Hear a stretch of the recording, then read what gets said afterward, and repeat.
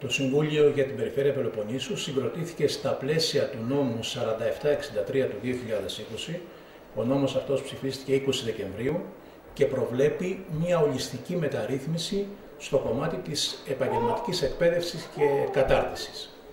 Κυρίως προσπαθεί να διορθώσει πράγματα τα οποία είχαν συμβεί το προηγούμενο χρονικό διάστημα και κυρίως έρχεται αυτός ο νόμος να διορθώσει αλληλοκαλύψεις μεταξύ δομών και εκπαιδευτικών διαδρομών, έρχεται να συνδέσει τις ειδικότητες, τις, ε, τους τομείς οι οποίοι λειτουργούν στα επίπεδα 3, 4 και 5 και να εξηγήσω την αυτά, στο μεταγυμνασιακό επίπεδο, στο λυκιακό επίπεδο και στο μεταλυκιακό επίπεδο. Ιδρύονται για πρώτη φορά επαγγελματικές σχολές κατάρτισης μεταγυμνασιακού επίπεδου, επίπεδου 3 και όλοι, όλες αυτές οι ειδικότητες σε επίπεδο περιφέρειας, δηλαδή το επίπεδο 3, οι επαγγελματικές σχολές, τα επαγγελματικά λύκεια, τα ΙΕΚ, προσπαθούμε οι ειδικότητες που θα προτείνουμε, για αυτό είναι ο ρόλος της Επιτροπής, τη νέα εκπαιδευτική περίοδο να έχουν σχέση με τις ιδιαιτερότητες, τις ιδιομορφίες, το αναπτυξιακό προφίλ της περιφέρειας. Στην Επιτροπή αυτή συμμετέχουν πέρα από τους διευθυντές των ΙΕΚ και εκπαιδευτικοί, οι οποίοι είναι διευθυντές αντίστοιχα στα ΕΠΑΛ, συμμετέχουν φορείς από την Περιφερειακή Ένωση Δήμων, από την Περιφέρεια Πελοποννήσου, από ε, σχολές μαθητείας του ΑΕΔ, από άλλα Υπουργεία, από το Υπουργείο Εργασίας εκπρόσωποι, εκπρόσωποι των εργαζομένων, εκπρόσωποι των εργοδοτών. Είναι μια δωδεκαμελής επιτροπή η οποία θα συνεδριάσει ε, το αμέσως επόμενο χρονικό διάστημα. Τέτοιες επιτροπές έγιναν 13 σε όλη τη χώρα. Ε, στην ουσία έγιναν 15 γιατί η Περιφέρεια Αττικής και η Περιφέρεια Κεντρικής Μακεδονίας σπάστηκε σε δύο τμήματα. Η, η Αττική, ο Πειραιάς και τα νησιά ήταν μια ξεχωριστή ΣΠΑΕ και η Βόρεια Αττική ήταν μια δεύτερη, όπως και η Ανατολική και η Κεντρική Μακεδονία έγιναν δύο ΣΠΑΕ, 15 στην ουσία είναι σε όλη τη χώρα και το αμέσως επόμενο χρονικό διάστημα θα συνεδριάσουμε προκειμένου να προτείνουμε στην Κεντρική Επιτροπή τις νέες ειδικότητες και τι κατεύθυνση θέλουμε να δώσουμε στο, στην περιφερειά μας. Η άποψη των μελών έχει την ίδια ισχύ και πώς δηλαδή θα πρέπει να υπάρχει συμφωνία, να είναι ομόφωνες οι αποφάσεις, αν υπάρχουν κάποιες διαφωνίες, πώς θα είναι δηλαδή η λειτουργία της Επιτροπής. Ο κάθε φορέας έρχεται να διατυπώσει μια άποψη. Ως συντονιστής της Περιφέρειας Πελοποννήσου θα έρθουμε εδώ να συγκεράσουμε αυτές τις απόψεις προκειμένου να βγει μια κοινή πρόταση προς το Υπουργείο ε, Παιδείας. Ε, τα θέματα και τα προβλήματα είναι κοινά. Είτε μιλάμε για τοπική αυτοδιοίκηση πρώτου βαθμού, είτε δευτέρου βαθμού, είτε επαγγελματικές σχολές κατάρτισης, είτε λύκειο, είτε ΙΕΚ. Ε, όλα αυτά συνδέονται. Και πώς συνδέονται, συνδέονται με μελέτες που έχουν γίνει το προηγούμενο χρονικό διάστημα, αλλά και αυτές που προβλέπουν τι θα γίνει σε κάθε περιφέρεια τουλάχιστον μέχρι το 2030. Έχει δείξει λοιπόν ότι ε, το 67% των θέσεων εργασίας θα απευθύνεται στα επίπεδα 3, 4 και 5.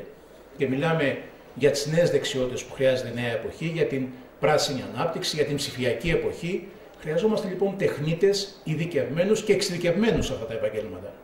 Πολλές φορές ε, και στη χώρα μας έχει, έχουν διαπιστώσει ότι υπάρχει μια στρέβλωση του συστήματος αυτού.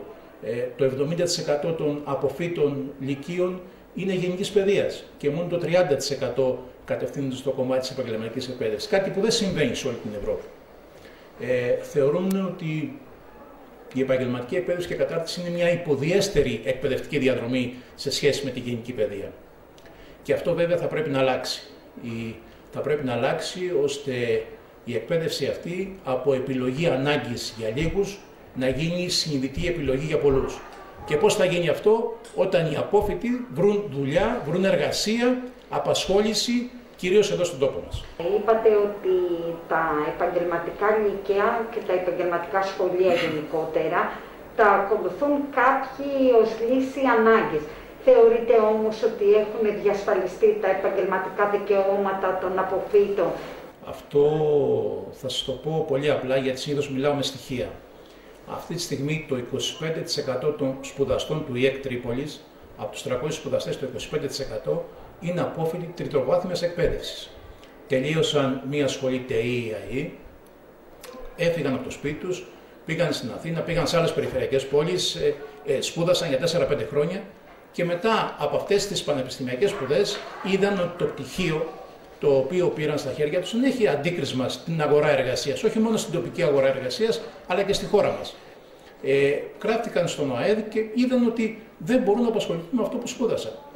Έχουμε, λέω, πάρα πολλούς αποφύτους πανεπιστημιακής εκπαίδευσης, 70% που είπα στην αρχή της συζήτησης, χωρίς να έχουμε αντίκρισμα στην αγορά εργασίας με αντίστοιχες θέσεις. Και αυτό θα πρέπει να διορθώσουμε.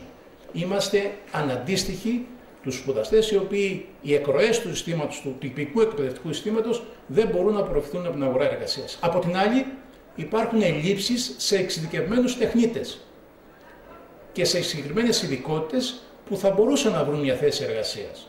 Όμως δεν υπάρχει αντίστοιχη κατάρτιση. Αυτό έρχεται να διορθώσει αυτός ο νόμος με την εμπλοκή των κοινωνικών εταίρων.